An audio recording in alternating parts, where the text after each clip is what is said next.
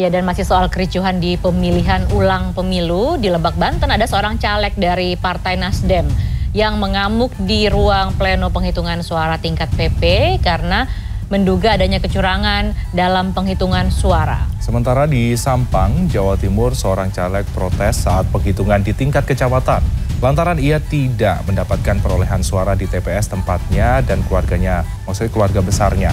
Aksi protes ini pun sempat viral di media sosial.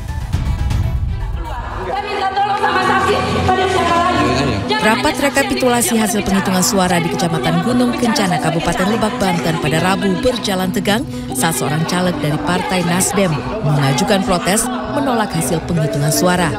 Ia meminta ketua dan anggota PPK membuka lembaran C hasil pleno di tingkat TPS di setiap desa caleg dari Dapil 6 wilayah Gunung Kencana, Banjarsari, Cileles, dan Cikul ini mendapat informasi dari saksi di partainya adanya dugaan kecurangan dari hasil suara sehingga membuat perolehan suaranya berkurang.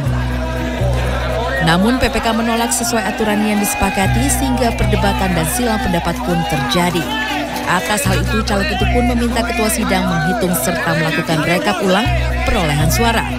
Sementara Ketua KPU Kabupaten Lebak menjelaskan aksi protes yang dilakukan sang caleg tidak sesuai dengan aturan dan mekanisme yang berlaku pada proses pleno penghitungan suara.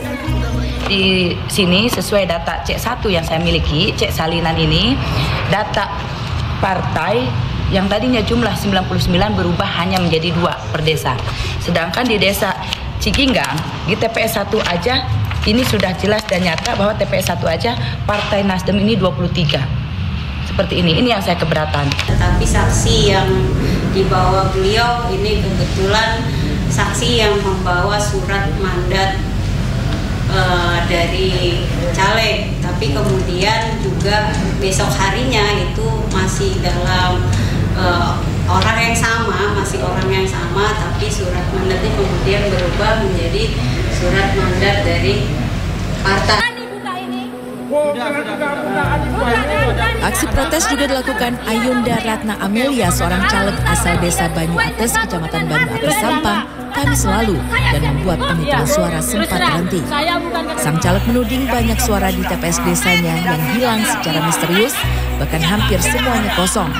Bahkan di TPS 6 Desa Banyu Ates, tempat ia dan keluarga yang dicoblos pun tidak ada alias nol. Ayunda sempat menantang panitia pemilihan kecamatan untuk membuka kotak suara.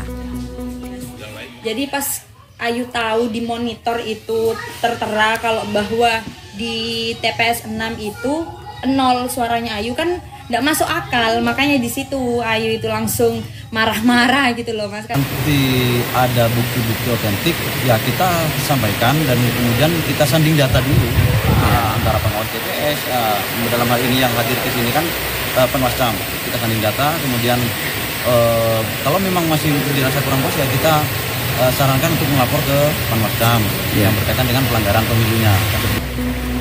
Pihak PPK mempersilahkan pihaknya melapor ke Bawaslu atau KPU dengan bukti dan temuan yang dimiliki korban. Tim Liputan CNN Indonesia.